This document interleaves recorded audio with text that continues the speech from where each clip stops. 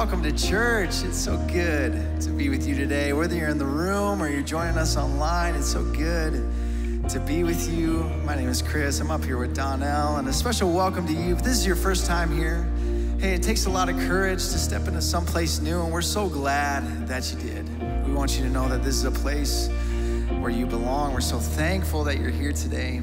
And we're gonna do some singing together, and we sing and we worship every single week because we believe that something powerful happens when we do because of the name that we are singing to and the name that we are singing about. And that name is Jesus.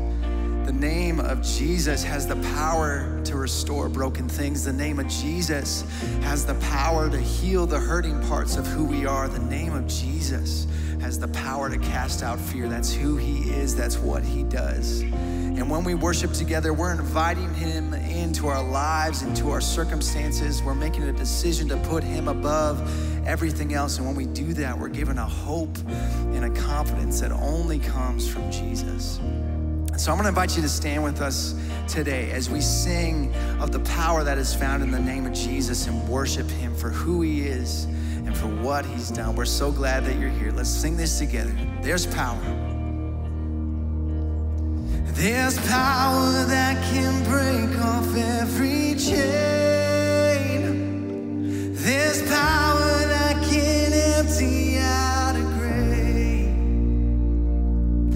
There's resurrection power that can save. There's power in your name. Power in your name. Let's sing that again. There's power that can break off every chain.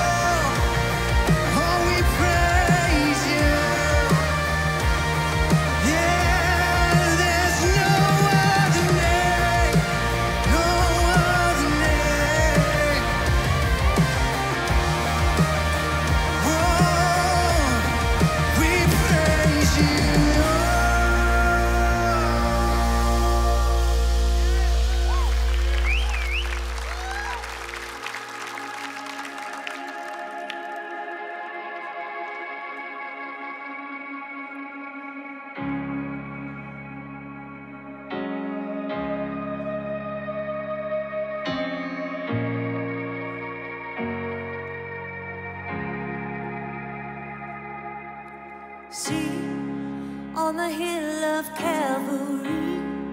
My Savior bled for me. My Jesus set me free. Look at the wounds that give me life, grace flowing from the side.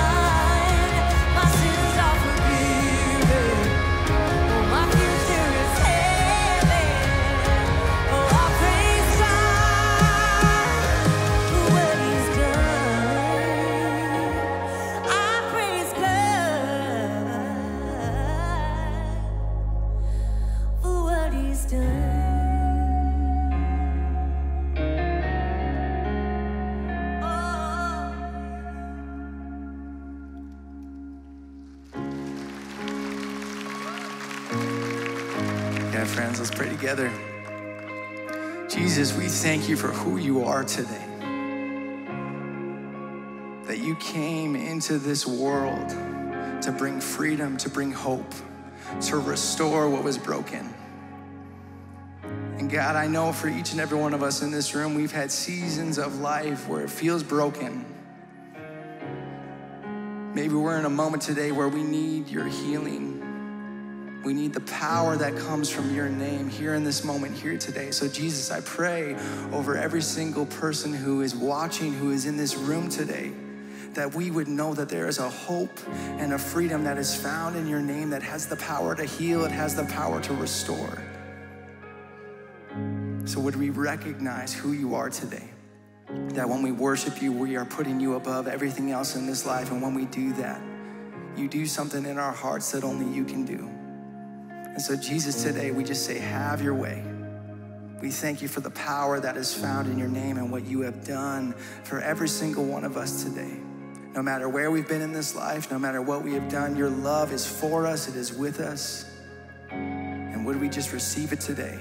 And would our response to that just be thank you and worship? So, Jesus, I thank you for the people here today, for their story. Teach us something new about who you are. It's in your name we pray. Amen. Amen. Thanks so much for singing today, everybody. You can have a seat.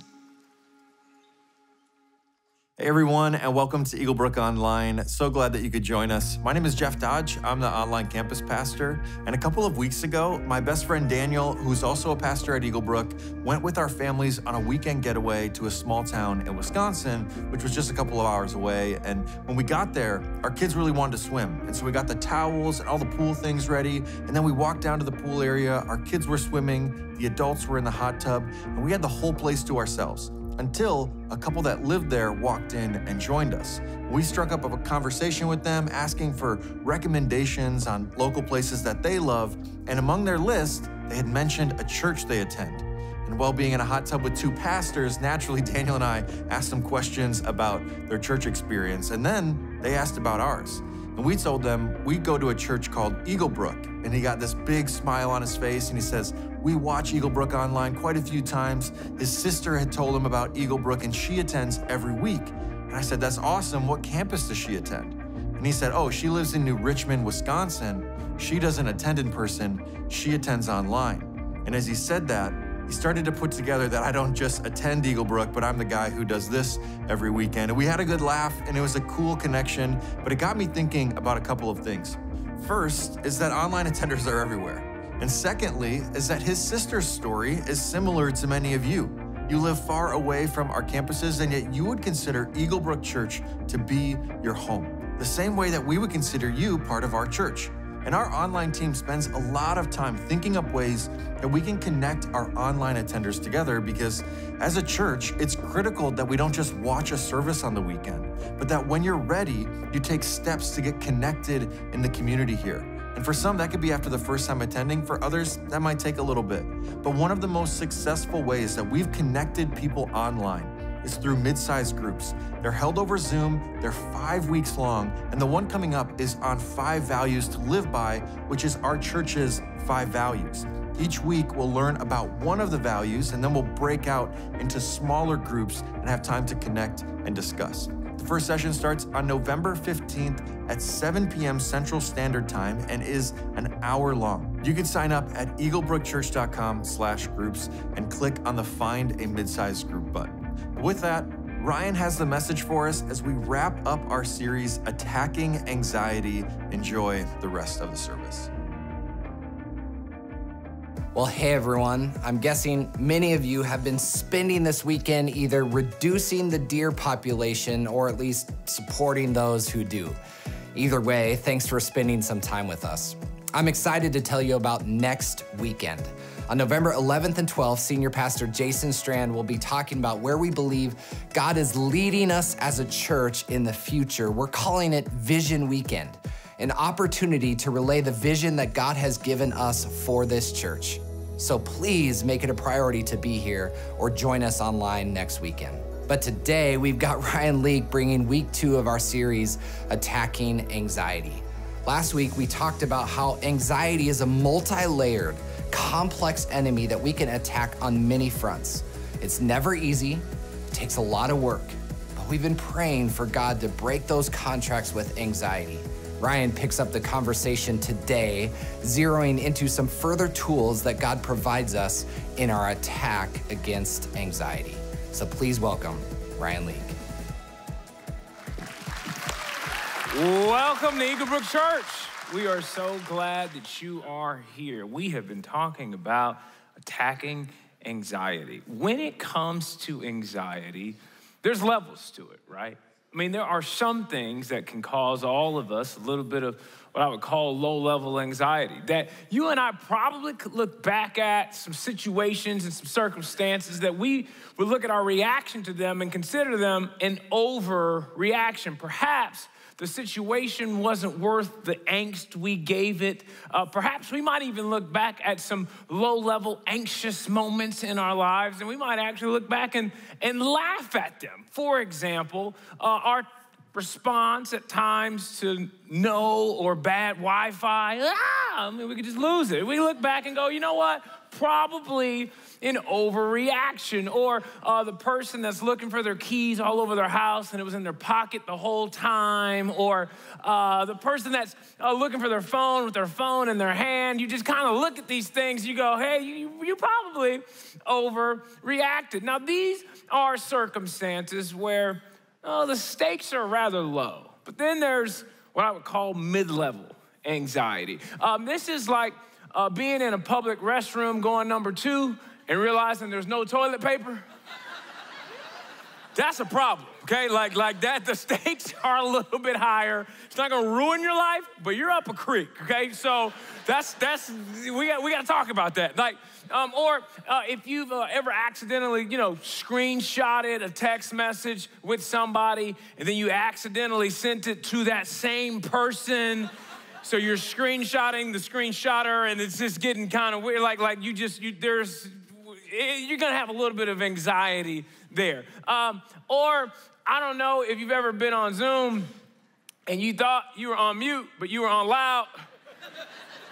And I had a friend the other day that they were on Zoom and they thought that they had video off and sound off, and you know, it was 20 people on the Zoom, and they got in a fight with their spouse, and you know, somebody's texting them like, "Hey, you're not on mute," you know. So um, maybe for you, mid-level anxiety comes in the realm of parenting. Um, I don't know if you've ever temporarily lost a child at the mall or Walmart uh, I haven't. I was just wondering if you did. And I don't know if you call 911 or what the protocol is there, but there's some, there's some real, real anxiety there. Um, I, I get mid level anxiety from watching our two boys by myself because, uh, not because they're challenging, it's just that when my wife leaves the house, I use this arrogant phrase, I got this.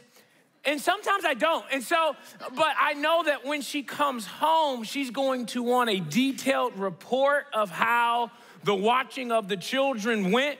And thinking about the report is what makes me anxious because now I have to make sure that there's no story to tell when she walks through the door. And so a couple years ago, uh, I was watching the kids by myself. I was managing one on this room, and then in the other room, I just hear crunching, and I'm like, okay, that's not good because I didn't feed him yet. And so I go in and I see him chewing on downy beads, fabric softener, like they were Skittles.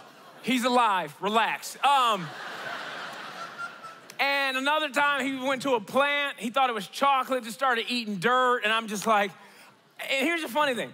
I don't know if I was more concerned for the child or me, you know?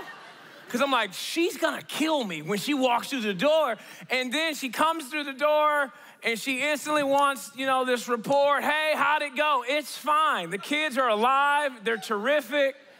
And then she asked this question Well, what'd they eat? Why are you asking these judgmental questions right now? I don't appreciate how you're coming at me, guns hot. You just walked the door. Hi, honey, how was your day? Like, I, like something else. They, they're fine. They had a number one from Chick fil A with the side of Downy and dirt. Leave me alone. Like, I mean, these are things, are just mid level anxiety. But then there, There, there is a level of anxiety that is absolutely crippling.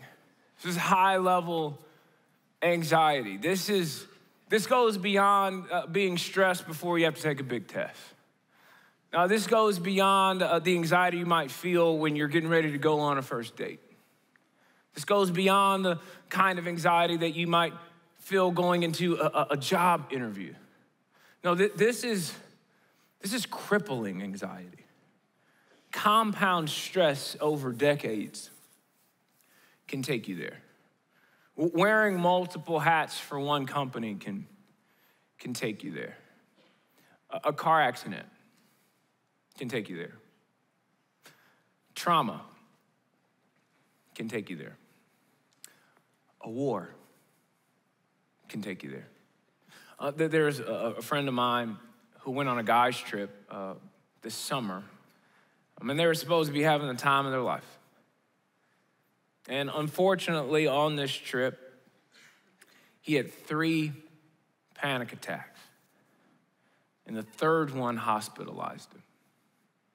This is a guy who makes good money, he's got a beautiful family, and yet found himself in the middle of the night struggling to breathe. And thank God, another one of my friends just so happened to be sharing a room with him and he was able to reach out and grab him and help him get to the hospital. This is actually, ironically, one of three friends I've had in the last six months that have had a level of anxiety that have led them to an emergency room. Now, here's the deal I, I don't know what level of anxiety you're dealing with or have had to deal with in your lifetime. But this is what I want each and every one of us to know there's hope. There's hope in a God, there's hope in a man named Jesus. There's hope in his power, not your power, not my power, but in his power, I, I, believe things can change. And I do want us to be realistic today because you're probably not going to hear two 30 minute sermons on anxiety and never deal with it again. But in this series that we've entitled Attacking Anxiety, uh, we're not prescribing an anxiety cure all. We're prescribing a fight. We're prescribing the idea that you and I should go on offense when it comes to anxiety. And it may be a fight, it may be a struggle, that we have to manage for the rest of our life. But what we want to do today is we want to equip you to fight. Now, uh, for me, I work out almost every single day, and I hate it. I hate it with the passion, okay? I do not like getting up early and going to the gym. I don't like sleeping in and going to the gym. In fact, sometimes I go to the gym just to walk around so I can tell people I went to the gym, okay? But getting to the gym, it puts me in a position to be the person I want to be. Um, I drink a, a green smoothie, a green drink every single morning. And guess what? I hate it. It's nasty. I don't like salads. I think it's pointless to get dressed up with my wife to go to a nice restaurant or only to order a quinoa salad. Who does that? No, you might as well be eating downy beads and dirt. Listen, I love food, okay? I love food. I love fast food. I love slow food. I love frozen food. I love food. And every single day, it is a fight for me when it comes to being healthy.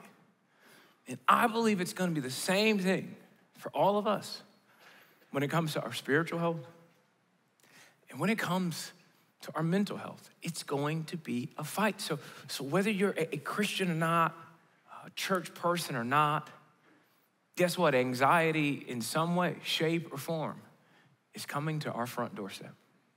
And I think that it's time that you and I stop being reactive to anxiety. And we start going on the offense and say, you know what? I'm actually gonna be proactive. And I just got to encourage somebody. If anxiety has taken over your life, I just want you to know that anxiety does not have to be the boss of your life. And I believe with all of my heart that God brought you here this weekend for a reason. In fact, I think the person who sent you the link to this message loves you a lot. And they think that you can overcome anything. Now, when it comes to anxiety, there are a lot of things that are what I'd like to call uncontrollables. Uh, this is other people's actions and choices. This is natural disasters. This is global events, the economy, the news, the weather, traffic. There's nothing that you can do about any of that. There's some chaos that is absolutely unavoidable because you live on planet Earth. But today's message is all about the controllables the hard things that are well within our control to help us go on offense when it comes to anxiety. Today, I want to cover four things. Four things that I think we can control to help us attack anxiety. The first thing is this um, the thing that I think we can control is number one, uh, where we give our attention. Where we give our attention. I love what Proverbs 20 verse 20 says. It says this says, My son, pay attention to what I say. Turn your ear to my words. Do not let them out of your sight. Keep them within your heart, for they are life to those who find them, and health to one's whole body. Above all else, guard your heart, for everything you do flows from it. I want us to notice the words ears sight, and health in this text. And I want to encourage us this weekend to be incredibly mindful and, dare I say, strategic about what goes through our eyes and in our ears. Because the reality is, is you can't control the news, but you can control how much you watch the news. Uh, you can't control what other people post. But you can control who you follow. You can't control who you mute. You can control your phone. You can delete apps. I, I was going to lunch with a friend the other day, and, and, and I sent him a link uh, to two restaurants via Yelp. I said, hey, which one of these do, do you want to go to? And he said something that was very bizarre. He says, hey, man, I, I, I can't open these links. And I said, I said, why? He said, well, actually, I, I've been going through the process of turning my smartphone into a dumb phone. And so he's actually removed all internet working apps off of his phone. And as he was just talking to me about this process, he just said, Man, my phone is running my life. And I just don't want it to anymore. I just have so much freedom. So if, if I need the internet for something, I just use my laptop. But for him, his, he, he's basically got a Blackberry from 1995. And so, which is, I'm just like, it's, it's an expensive, dumb phone, but nevertheless, he just, he took control instead of it controlling him. Because I know what can happen for you and I is like we could just be on our phones and we could just be scrolling social media. And in just 30 seconds, we can go through an array of emotions that are just wild. I mean, because you can just be sitting there and, and, swipe one, the world on the brink of World War III. You're like, oh my God, oh my goodness. Swipe two, Vikings quarterback out for the season. Oh, shit, man. Achilles, be careful out there, stretch, you know? Swipe three, friends on vacation. You're like, I need a vacation, man. I need a break. Lucky them, man. I gotta get out of here. This is crazy. Swipe four, a mom showing the arts and crafts project she did for her kids' whole class, while the background of is her living room and it's spotless. Your house is a mess and forgot to pack a snack for your kid. You know, it's just like, oh man, just school's calling, Johnny's hungry. You're like, it's your fault. I don't know. Send him some dirt. It's like, I don't know. It's like,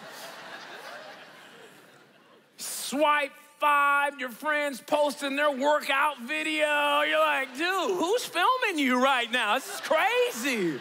did you bring a videographer to the gym? Like, did you bring a stand? Like, you look great, but it's just, and now what? We feel great about the world and ourselves and our home. No, it's like in just 30 seconds, the internet can be overwhelming. And now there's a lot of social media platforms that have what they call, I just find this very interesting. They call it a for you page. This is what they've curated just for you. And I think at some point, you have to ask is it really for you? Better question Is it good for you? Because when we take inventory of what has the most of our attention right now and what's going through our eyes and in our ears, we all have to wonder if any of it is actually feeding anxiety instead of attacking anxiety. Question when, when it comes to what has the most of your attention, does God's word have any of it? I, I can just speak for me. I've just made the mistake of desiring big results from God while giving Him the smallest of my attention. And the reason I, the reason I love the Bible so much is because when you can't hear God, you can read God. And, and this is what I, I want, you know, God has something that He wants to say to you, that He wants to say to me, that I think you and I should keep in front of our eyes and do as best as we can to get it in our ears. In fact, I, was meeting with some of the people that own BibleGateway.com, and, it was an interesting conversation. And they, they shared with me the number one Bible verse that's looked up on their website. And, and, it's, and it's this one, and I think it's, it's one that we should give our attention to. And it's Philippians 4, verse 6, that simply says this it says, Do not be anxious about anything. No, but in every situation, by prayer and petition, with thanksgiving, present your requests to God. Now, when I read this, I, I think one of the ways that we attack anxiety is by giving our attention to God because I, I can't speak for you, but I can speak for me. I, I'm prone to give my attention to my problems. And I think it's verses like these that give us a reminder that there are things that we're often holding on to that God wants to carry for us. The other thing I see when I see this scripture is the second thing that I think we can control that helps us attack anxiety. And that's that we can control, uh, uh number two, uh, what we're grateful for what we're grateful for. I love what the scripture says. It says, with thanksgiving, present your request to God.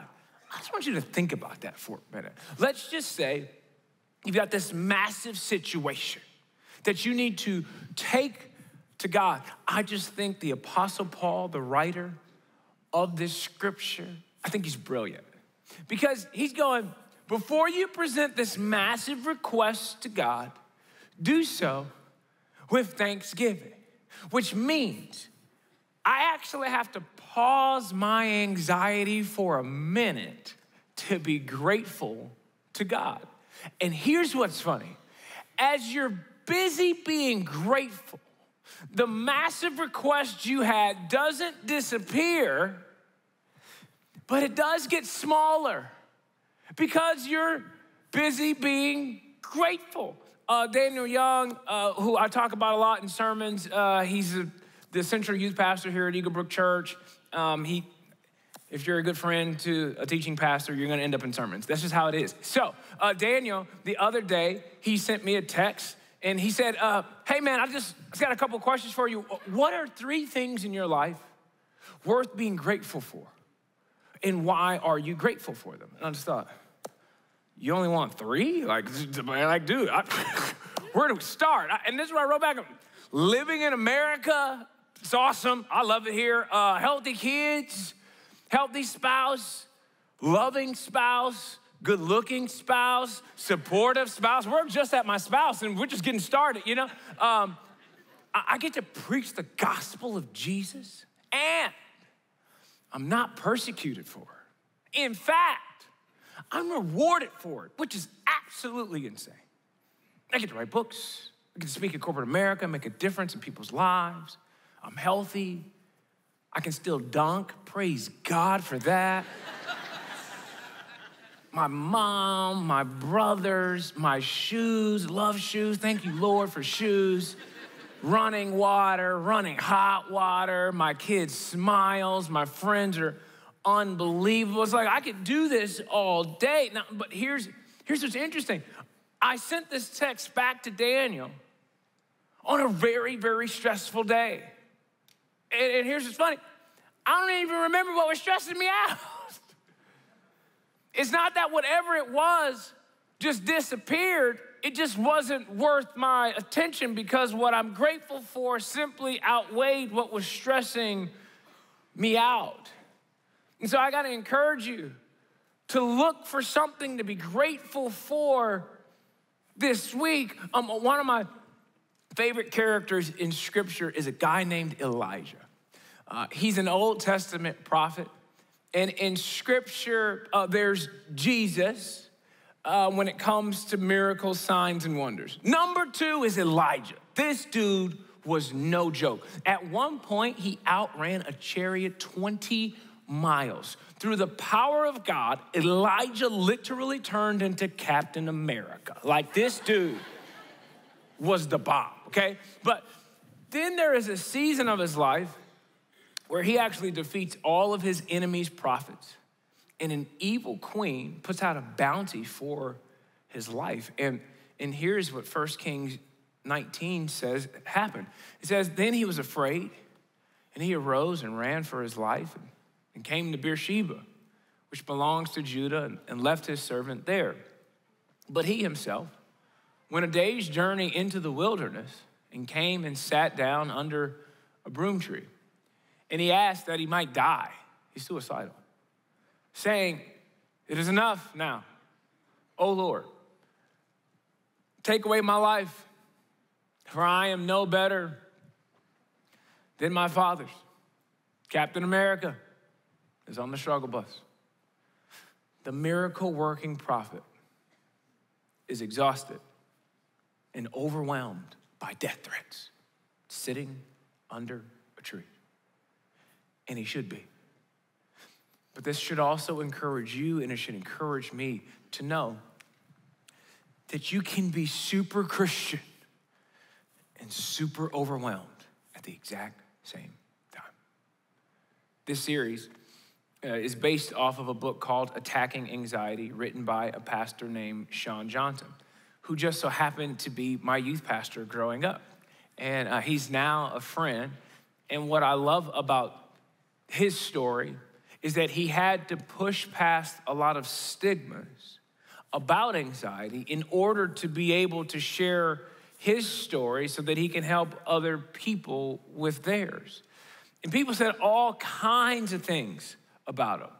You're the pastor of this large church in Denver, and, and yet you struggle with anxiety. And, and I just love that he leaned into it instead of what some of us might be tempted to do, which is to try and hide it in fear of what other people will think about us.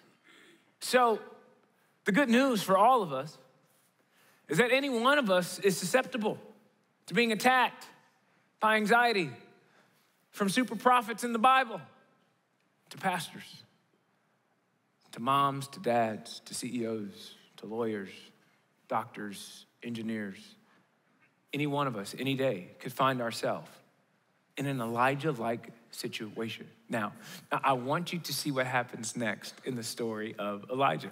And it says this it says, and, and he lay down and slept under a broom tree. And behold, an angel touched him and said to him, Arise and eat. And he looked, and behold, there was at his head a cake baked on hot stones and a jar of water? And he ate and drank and lay down again. And the angel of the Lord came again a second time and touched him and said, Arise and eat, for the journey is too great for you. I told you earlier, I like food. So you know this verse caught my attention. Does it say cake baked? Like, wait a second now. Like, I don't know if you're a dessert person or not, but I am. I love cake. Sometimes I love cake too much. I've had a lot of cake in my lifetime. I don't know if I'm proud of that or not, but I will tell you as much cake as I've had in my life, I have never had cake door dashed from heaven to my house. This is crazy. I mean, it, if I could sit under the broom tree with Elijah for just a minute, I would say, hey, man, we on the run, man. It's crazy out here, man. They trying to kill us. It's stressful. I mean, yeah, man, it, it's crazy that an evil queen would try and take your life, Elijah. But isn't it even crazier that God cares about you enough to send you cake? And then I would eat a bite of the cake and say, listen, listen, if we're gonna die, we might as well eat good while we're here, bro. Come on. Here's what I believe in all my heart. The difference between experiencing anxiety and fighting anxiety is the perspective that we have on what we're facing. We can focus on the queen, or we can be grateful for the cake. Uh, here's what I know about you, and here's what I know about me. We all got cake somewhere in our life, and we ought to be grateful for. I know that you have a lot of things in your life that, that you should be anxious about, but I would argue you have more in your life to be grateful for. And guess what? That's something that you can control. You ought to write some stuff down this week that you're grateful for. And maybe it's not just stuff, maybe it's people. Because you go, you know what, man, this person, man, it's, it's been so frustrating. And sometimes you can only focus on that person that you forget that there's a whole group of people that are incredible in your life that you ought to be grateful for, which leads me to the third thing that I think we all can control when it comes to attacking anxiety. And that's that I believe that we can control, number three, uh, how we talk about our problems. How we talk about our problems. I want to show you Psalms 141, verse 3. I believe this verse was written just for me. It says, Set a guard over my mouth, Lord. Keep watch over the doors of my lips. I need a full time security guard to be a guard over my mouth. Um, here, here's another good one that, that I think is good. Uh, Ephesians 4 29, it says, Do not let any unwholesome talk come out of your mouth, but only what is helpful for building others up according to their needs. I would also add, uh, what is helpful for building you up according to your needs the conversation you're having with yourself so that it may benefit those who listen, even if that's you or the one listening to you.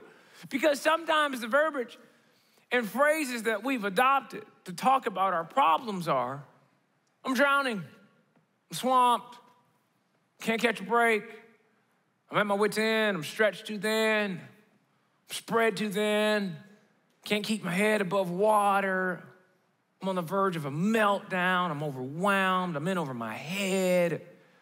It's a storm I can't weather. And, and, while those statements can be true and authentic, I just want you to know two things can be true at the same time. I'm not asking you to pretend like something isn't overwhelming you. I'm asking you to be intentional with your words because what you say matters. You're looking for words that Ephesians describes that are a benefit for you and others. Words that are helpful for building up. So let me ask you this is it crushing you or are you crushing it? Two things can be true. Are you on the verge of a meltdown? Or are you on the verge of a breakthrough? Two things can be true at the same time. I just look at a lot of people who are crushing it. and they just can't see how well they're doing. Your situation may be overwhelming, but your words have the power to overwhelm that which is overwhelming you. You could say, I've got a lot of challenges right now, and that's true, but you also could say, I've got a lot of opportunities to grow right now. Both are true, but only one helps you attack anxiety. You can say, I'm just stretched too thin, or you could say, my capacity is far greater than it was five years ago. And now I'm doing things I never thought I was even capable of doing. A guy reached out to me about a month ago and was asking me for some advice. And he used this phrase to describe uh, infidelity in his marriage. He said, Ryan, I destroyed my family. I destroyed my family, he unfortunately committed adultery and was incredibly down about it. And he just said, Man, I just, I just don't know what to do next, man. I, I destroyed my family. And I, I said, well, Man, I, I'm really sorry to hear that. I, I'm not a marriage counselor. I, but I, I would just encourage you with this in terms of what you need to do next. Uh, one, I, I think you need to just change your language. And he said, What, what do you mean? I, I said, I said, You said that you destroyed your family. And I asked him this question I said, Are they alive? He said, Yeah. I said, Well, then they're still standing, and, and so are you. So let's just give you new language. You ready? You're rebuilding your family. There's a difference. Both might be true. Yes, you messed up. Yes, you need to ask for forgiveness. Yes, you need to go to counseling. Yes, there's a lot of stuff that you need to do. And the journey ahead for you is very, very long. However, the conversation you have with yourself is so important. You are rebuilding your family. And when you use that phrase, you know what it gives you? Hope and a future. The other one says it's completely over. And I said, and I can't promise you that there's just going to be all of these happy days and you're just going to be on vacation soon. But when you begin to use that phrase, I'm rebuilding my family, you're looking forward. You're not looking in the past. You can't control all of the circumstances that come your way, but you can control how you talk about those circumstances. The last thing that I think we can control in attacking anxiety is that I think that we can control, uh, number four, who we ask for help.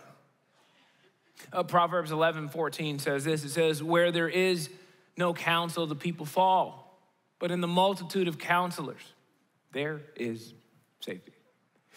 If we're going to attack anxiety, we can't do it alone.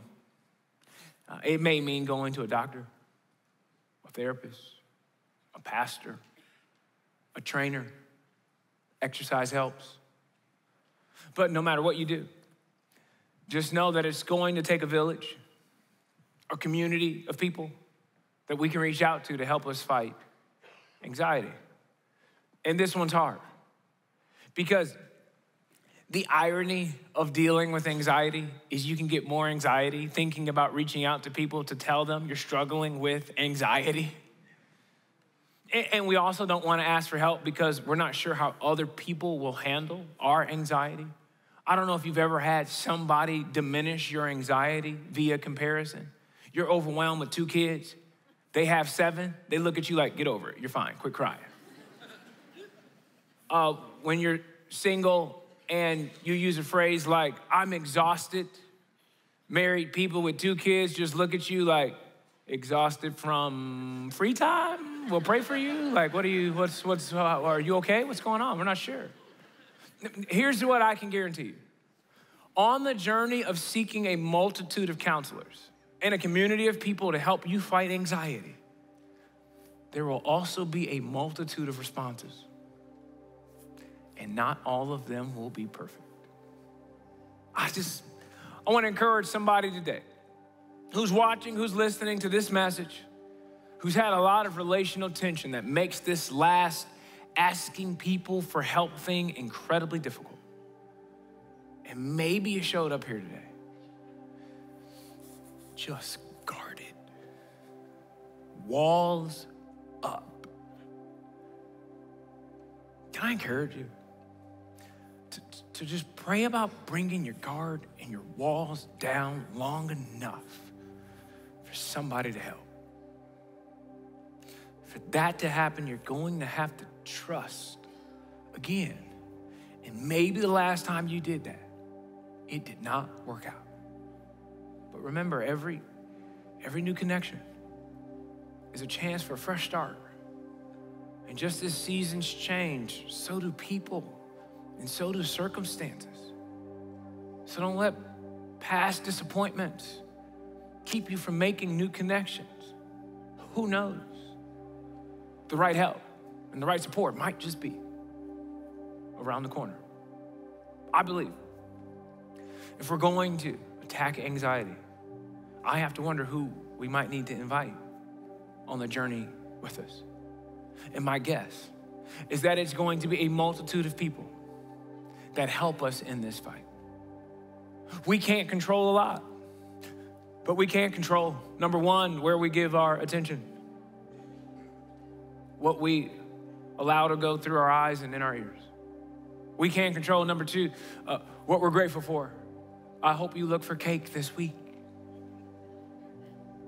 We can't control, number three, how we talk about our problems. Is it crushing you or are you crushing it? And number four, we can't control who we ask for help.